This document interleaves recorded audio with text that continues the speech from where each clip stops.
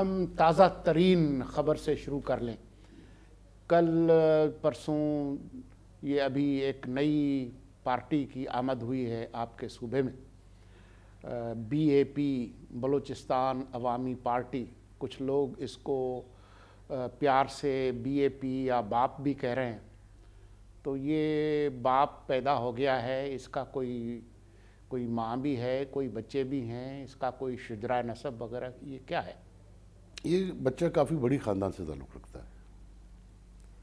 مگر ایک چیز میں آپ کو بڑا انٹرسٹنگ بات بتاؤں کہ اچھا ہوا ان نے پارٹی بنا لی۔ میں تو اس بات سے بھی خوش ہوں ان کی ان نے اپنی پارٹی بنا لی اور باقی پارٹیوں کی جان چھوٹ گئی۔ اس میں مرتضی بھائی جو لوگ ہیں، ان لوگوں کی عجیب ہسٹری ہے بلوچستان میں۔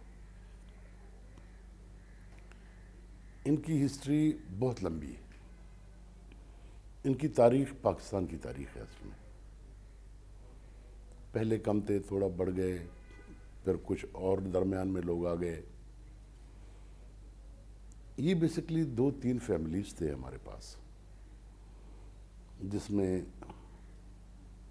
ایک جمالی فیملی ہے جسے آپ بہت واقف ہیں جان جمالی۔ جان جمالی ظفر اللہ ظفر اللہ کا چچا۔ بڑے جمالیز۔ اس طرح یہاں سے جام افلس بیلا۔ کچھ اور اس قسم کی فیملیز مگسیز کوساز۔ پھر ایسے ایسا کچھ نئے ایلیمنٹ آ گئے جیسے کریم نوشروانی کہاں سے آ گیا آپ کا خاران سے آ گیا قدوس کا جو والد تھا، وہ اواران سے جنم لیا۔ وہ ایم پی اے تھا بنیادی طور اس طرح ان کی ایک بڑی تعداد تھی۔ اگر تھوڑا سا اگر آپ الیکشن ڈیٹا نکال لیں، یا یہ تھے یا ان کے والد تھے یا ان کے چچا تھے۔ ان کو پہلی دفعہ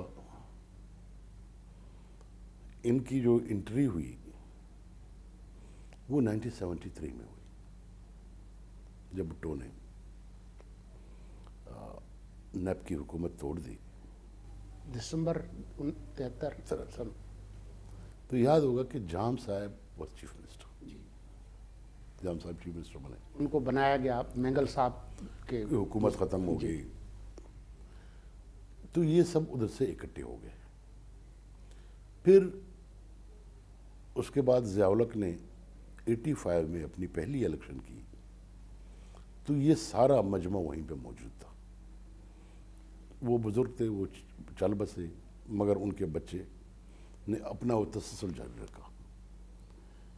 جب جام صاحب کا دور ختم ہوا تو ایٹی فائیو میں جب بے نظیر آئی ایٹی سکس میں۔ ایٹی سکس میں۔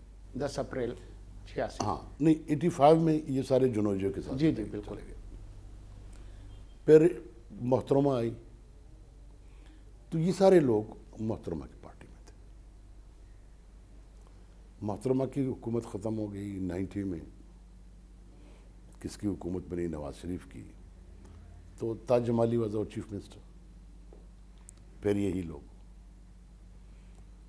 اب وہ پھر بے نظیر، پھر نواز شریف، پھر جنرل مشرف۔ جنرل مشرف آیا تو تب بھی یہی لوگ تھے۔ اسی پچھلے الیکشن میں یہ الیکشن نہیں جو ہوا اس سے پچھلے جو جس میں وزیر اعظم جو ہے ہاں یہ کون تھا؟ زرداری صاحب کی جب حکومت بے نظیر کی شہادت سے پہلے۔ ایک پروگرام تھا بی بی سی کا۔ تو اب بی بی سی میں اب تو خیر وائس امریکہ میں سارا بی بی سی کے جو نمائندہ تھے جی۔ تو اس نے مجھے فون کیا کہ الیکشن ہو رہے ہیں تو ہمیں آپ کا تبصرہ چاہیے۔ دو ہزار آٹھ کا جو الیکشن کا۔ ہاں تو اس وقت کاف کی حکومت ہے بلوچستان میں تو آپ کیا کہیں گے؟ تو میں نے اس کو کہا کہ بی بی میں تو صرف بلوچستان کا نہیں کہتا ہوں۔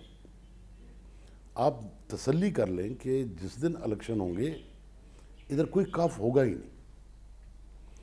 تو اس نے کہا کہ آپ بہت زیادتی کر رہے ہیں پورے ملک میں کاف کی حکومت ہے۔ درست۔ مگر عملی طور پہ یہی ہوا۔ بلوچستان میں یہی لوگ کاف کنگز پارٹی غائب ہو گئی پھر۔ جب دوبارہ پیپلز پارٹی کی حکومت آئی نواب رحسانی وزیر اعلیٰ بنا تو یہ سارے اس کے کیبنٹ ممبر تھے ماشاء اللہ۔ جب ابھی اس دفعہ کی جو الیکشن ہوا یہ بڑے ہوشار لوگ ہیں۔ اب اس دفعہ میرے حساب سے انہوں نے غلطی کی ہے پتہ نہیں کیا کیا ہے کہ وہ یہ فیصلہ کرنے سے پہلے ان کو یہ علم نہیں ہے کہ فیڈرل گورنمنٹ کون آتا ہے۔ پہلے یہ سارے لوگ آزاد الیکشن لڑتے ہیں۔ اور جس کی بھی حکومت بنتی ہے اس میں شامل بنتی ہو جاتے ہیں۔ ہے کچھ لوگ ہوشار لوگ ہیں ان کو پہلے سے معلوم ہوتا ہے کس کی حکومت آنی ہے اس میں پہلے چلے جاتے ہیں۔ ان پر آمد ہوتی ہے۔ ان پر آمد ہوتی ہے۔ کچھ ایسے لوگ ہیں کہ ان کو کنفرم نہیں ہوتے ہیں۔ تو وہ آزاد الیکشن لڑتے ہیں۔ تو مسئلہ اس کی دلچسپ مثال آپ کو دے دوں۔ پچھلا الیکشن ہوا۔ Zafarullah Jamali was vice president functional جی۔ جب الیکشن ہوئے وہ انڈیپینڈنٹ تھا۔ الیکشن جب جیتا وہ نون میں چلا گیا۔ واہ۔ ٹھیک ہے نا؟ اگر اب یہ دیکھیں۔ تو اسی لیے یہ کوئی اچمبے کی بات نہیں ہے کہ اس دفعہ چلو اکٹھے تو ہو گئے نا سارے۔ آگے کیا کریں گے اچھا کریں گے، برا کریں گے۔ پہلی دفعہ یہ اکٹھا ہو گئے اور ہم سمجھتے تھے کہ کوئی یونائٹڈ یونائٹڈ مسلم لیگ بنائیں گے۔ تو اچانک سے انہیں باپ بنا دیا۔ اب وہ دیکھیں، یہ سب پارٹی والے لوگ تو نہیں ہیں۔ اب اس الیکشن تک ان کی پارٹی چلے گی، نہیں چلے گی۔ اگر ان کی پارٹی چل گئی تو پھر کیا ہوگا بلوچستان کا؟ یہ بڑا کوشچن مارک ہے۔